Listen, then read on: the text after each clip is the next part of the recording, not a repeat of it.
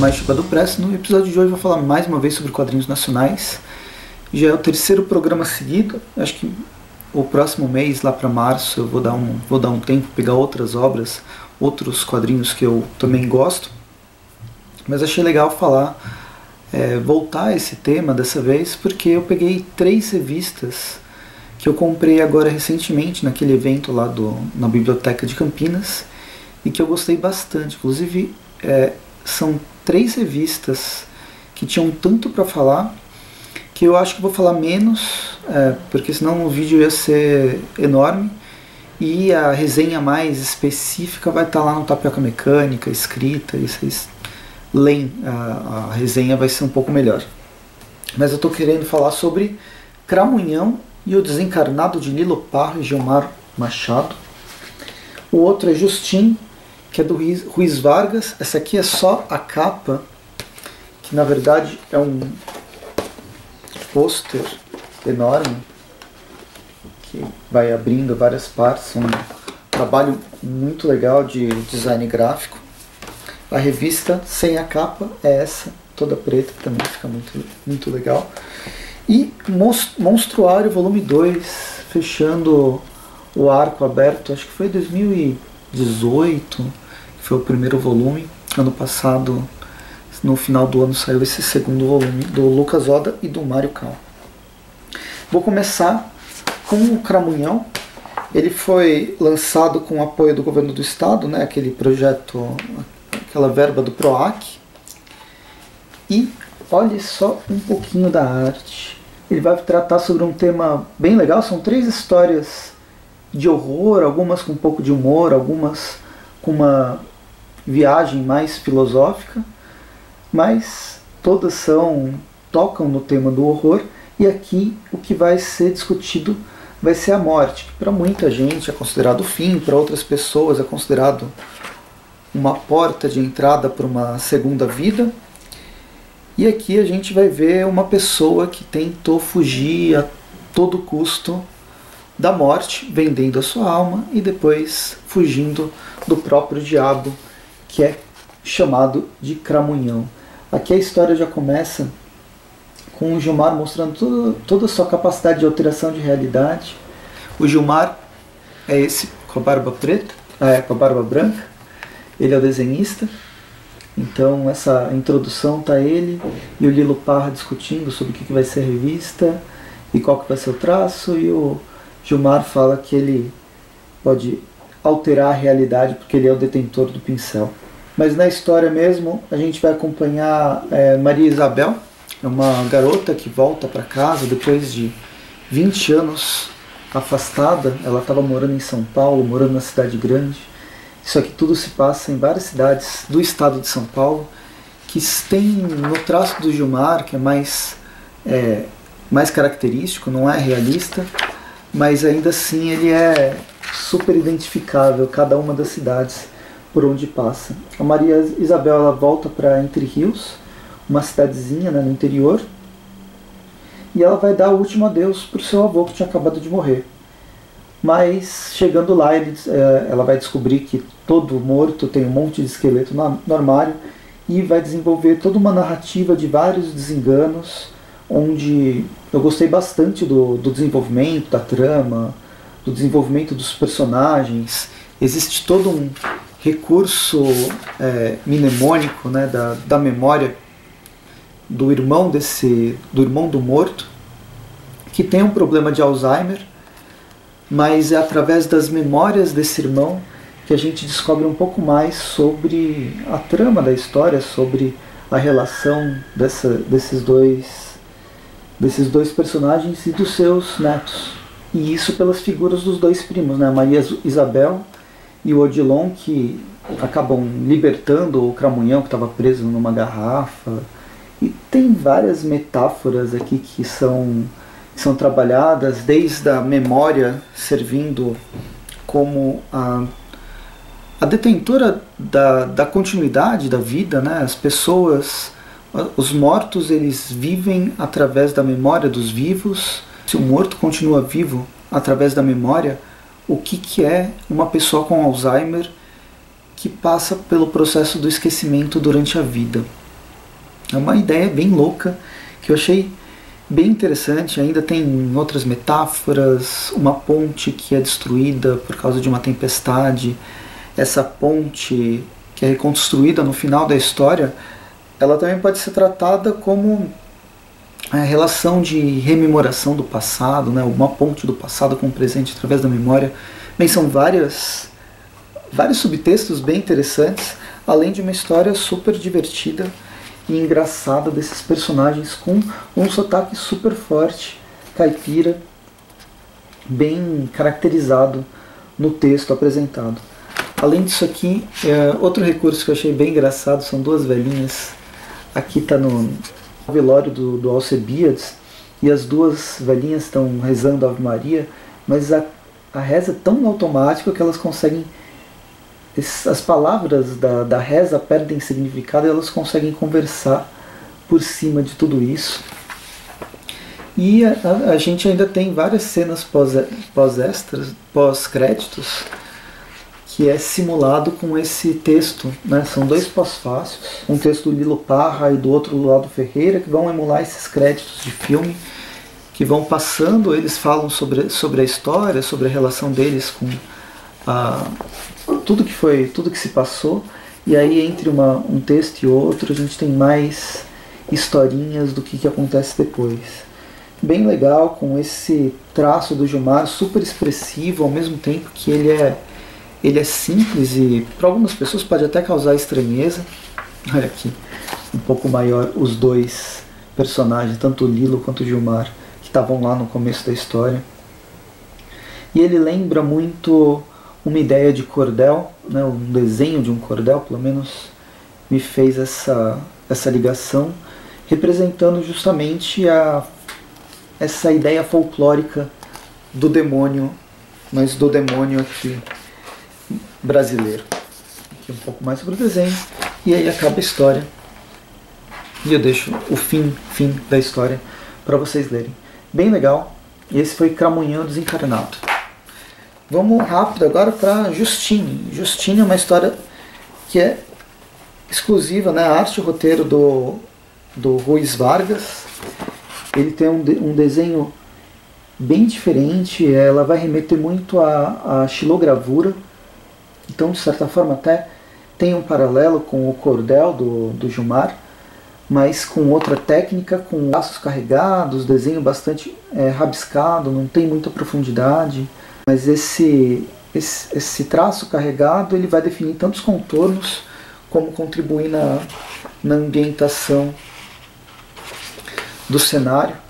Bem legal, uma, uma história mais pesada, que é, é mais um horror pessoal aqui. A gente vai acompanhar uma garota, ela vive solitária, conversa com seu bichinho de pelúcia, trata o bichinho de pelúcia, inclusive como um filho. Ah, no meio da história ainda aparece uma arpia, tem uma cobra, a arpia e a cobra elas lutam pela sobrevivência e tudo de forma bastante onírica. Ah, a história se passa como se fosse talvez não um sonho, mas mais um, um pesadelo. Por causa disso, ela também é aberta a várias interpretações. A garota solitária ela é bastante infantilizada ao longo da narrativa e a gente percebe que não é bem um mundo pós-apocalíptico, mas talvez a gente está vivendo a mente fragilizada de uma pessoa que sofreu vários abusos durante a infância, durante a adolescência, durante a vida adulta. Ela é uma garota que está juntando as peças da própria alma para continuar sobrevivendo. A própria luta da arpia com a cobra vai mostrar bem essa essa luta, essa briga do abusado com o abusador, como que essa a pessoa abusada consegue se sobrepor contra seu captor. Bem legal, o, logo no, no início, um pouquinho antes de começar, na verdade, a gente tem umas palavras do Ruiz aqui indicando algumas músicas sobre que, que ele sugere músicas para você ouvir enquanto está lendo essa, essa história. Então vai de Caval, Cavalgada das Valquírias, passa por Chico Buarque, Jimi Hendrix, encerra com Led Zeppelin e Oba e acaba sendo uma viagem completamente multisinestésica é, através de vários sentidos, não todos, mas vários sentidos, né? A visão, a audição, isso formando todo um cenário bem interessante que é, ele acaba sendo bastante pesado pelo, pelo texto que está sendo trabalhado. Gostei também, é uma outra história bem, bem interessante. Vou terminar com o Monstruário do Lucas Oda e do Mario Cal.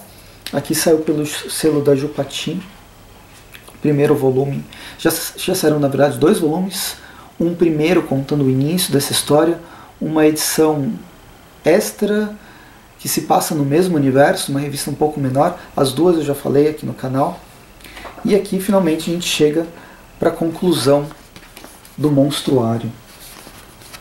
O primeiro volume ele mostra os principais elementos né, desse universo e nesse segundo vai focar principalmente nesse mergulho da mente da protagonista, que é a Lúcia Drummond, uma garota que trabalhava num departamento do governo que registrava os monstros das pessoas. Nesse universo, todas as pessoas têm seus medos é, personificados, não, mas materializados em monstros. Esses monstros são registrados, eles são escolhidos em determinado momento da sua vida me lembrou, agora que estou vendo né, aquele Bússola Dourada, em Dark His Dark Materials, que é o seriado agora que está saindo, mas que teve o livro do Philip Pullman e teve o seriado, uh, teve o filme nos anos 2000. Então me lembrou essa relação da alma e a pessoa sempre com, na forma de um animal. Aqui, ao invés da alma, são os medos, os monstros que formam quem a gente é no fim. É bem interessante, então a, a Lúcia Drummond ela descobre uma pessoa que não tem um monstro e vai investigar isso no primeiro volume. Esse segundo começa com ela em Ouro Preto, fazendo. A história se passa no Brasil, se passa em várias cidades também do Brasil, e o desenho do, do Mario Cal ele transita numa coisa mais real para um surreal, mas diferente do desenho do Gilmar, as cidades elas são muito mais é, identificáveis por causa do traço dele.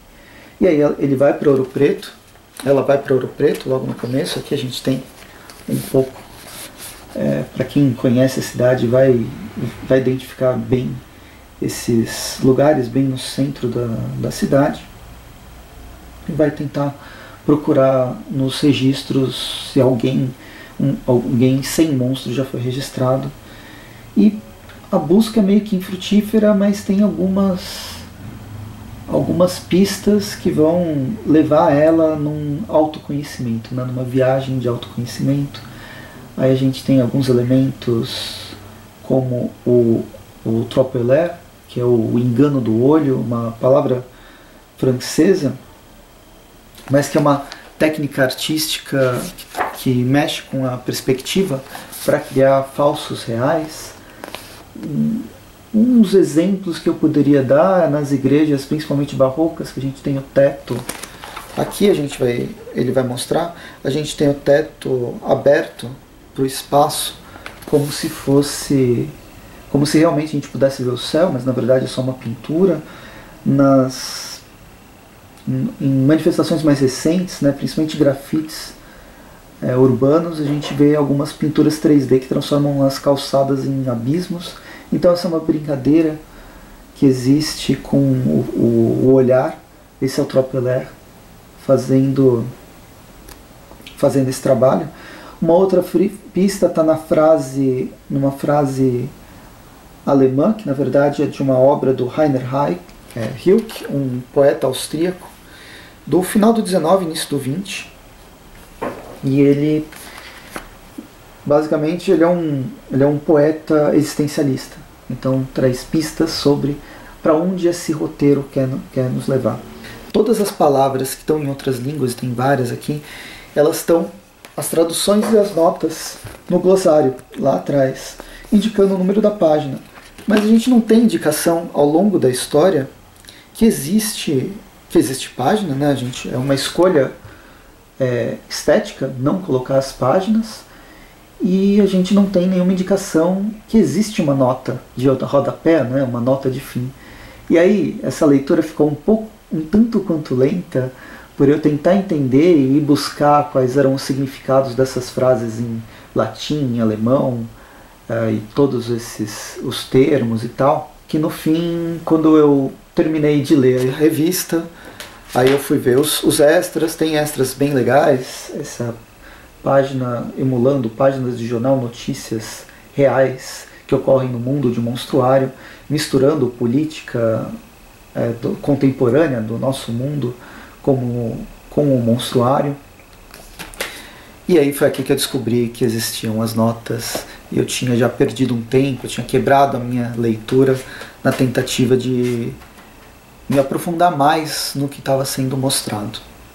Essa acho que é a única crítica que eu tenho. Eu sei que foi uma escolha estética, uh, faz sentido, ela sem o número de página você tem um, uma leitura fluida e direta, mas existem elementos que me levavam a isso.